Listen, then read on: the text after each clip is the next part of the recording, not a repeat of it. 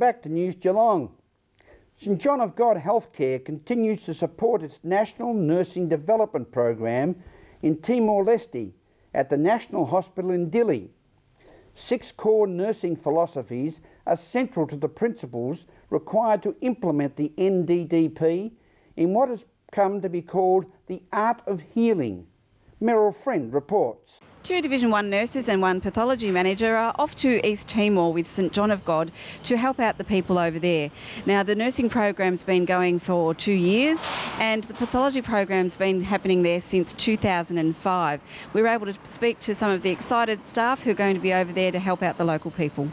On Monday, my husband and I are off to Dili in East Timor, where it's a two year contract, and I'll be working as a specialist quality nurse in the Dili National Hospital as part of a St John of God National Nursing Development Program. So, what was it that uh, caught your eye about doing something like this? Well, I've always wanted to be able to offer my services to those less fortunate than us.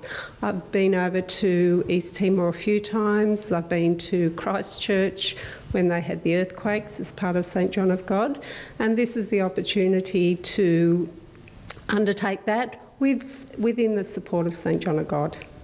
So they've had other people from St John of God over there before as well? Uh, they have employed nurses for St John of God, but I'm sort of one of the homegrown St John of God people to be in the program, yes. I'm there for two years as well. Uh, unlike Liz, I've just started with St John. Uh, and it's a really good opportunity. I'm looking forward to helping the organisation uh, fulfil our mission out there, uh, which is basically helping uh, Timor, helping the Timorese people uh, develop their, um, I guess, talents and technical abilities in, in the lab and increase the medical services available, hopefully improve their health conditions. No, I'm going for two weeks uh, to do a needs assessment with Liz at a clinic in, called Bakhita Health Clinic, and um, we're going to look there and um, see what we can do to aid the capacity building of the uh, people there working at the clinic. So it really is a, a, huge conjunction between St John of God and the people in East Timor, and then you're also off to somewhere else? Um, yes, I'm now just uh, recently been appointed as Papua New Guinea Project Officer, so looking at ways that we can work in um, with the Brothers of St John of God, fulfilling our mission. Yeah. Has, have you been to these areas before? Uh, yeah, for just a few days uh, orientation, yeah, but I've sort of travelled a lot and sort of this is one thing I wanted to do was to give something back and um, help out in developing countries in capacity building role. So. Well, it's wonderful work you're doing, and I'm sure the background at St John of God will, will hold you in good stead. Uh, the Memorandum of Understanding, can you just talk us through that?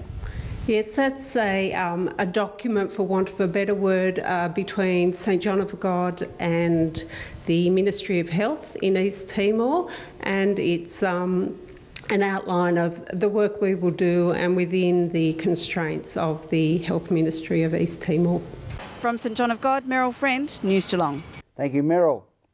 After a $500,000 upgrade, the Geelong Rangers Soccer Club will return to its home ground this season.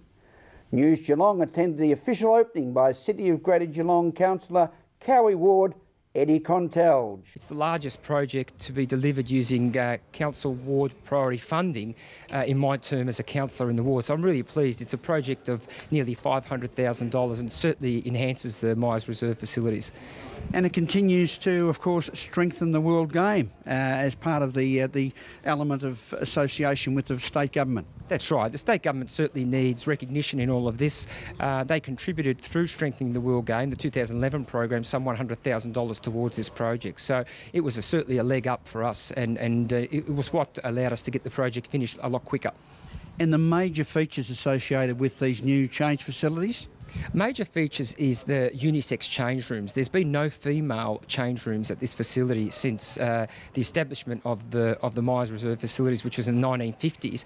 And also, in addition to that, was referees' change rooms. In the past, uh, Graham, the referees were expected to uh, share the change rooms with the players, and you can imagine what that would be like after a feisty game. Yes, I can imagine Mel Bosniak and his boys will be very happy. But uh, the world of women's soccer you mentioned is extremely improving. Of course, we had two A League games down here in Australia in Geelong this year. So uh, this is where the grassroots of it can continue to develop. That's right. I mean, it's the women's soccer and equally the the uh, youth uh, youth squads that are coming through that are growing the, the game. There's, it's not unheard of uh, to have clubs such as the Rangers with 190 and 200 youth uh, playing soccer at their facilities. Through local council, especially Councillor Eddie Kontelj, we've got it together, and um, it'll be really great. It'll be good for um, for women's soccer as well as men's soccer. The facilities are, are, are just state of the art. I mean, um, they've been grubby for a long time. That's probably because we are the oldest club in Geelong, and they really did re- need refurbishing.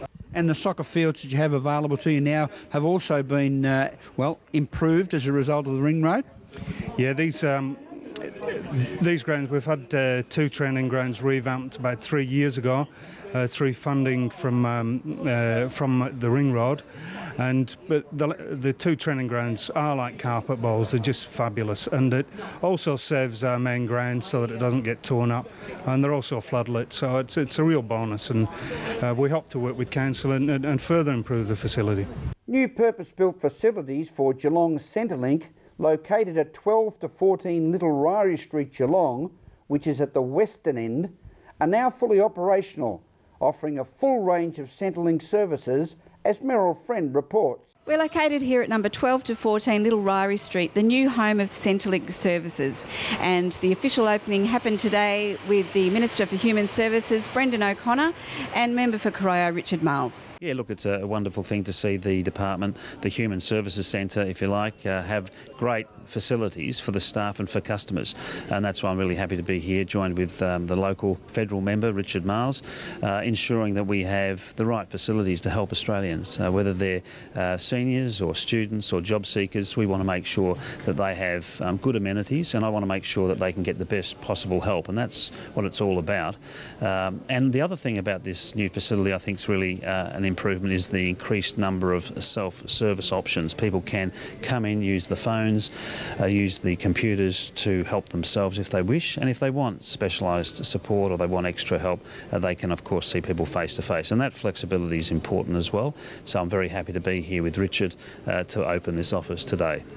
And it's it's got numbers of you know in the 900 odd people coming through this centre every day. That's right. It's a, it's a very uh, very well used service. It's a very important one for Geelong and indeed beyond Geelong. Uh, and uh, it's important therefore that we have the right the, the right amenities, the right services to, to tailor for the needs of people here.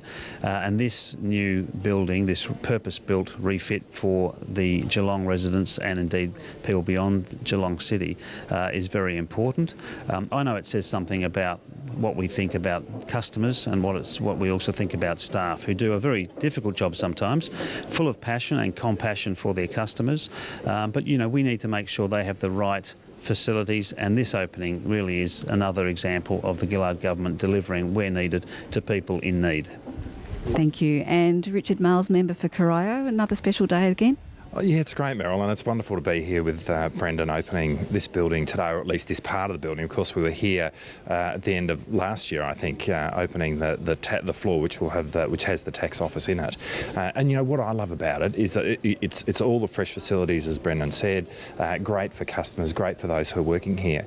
Uh, but this this building is breathing life into the city.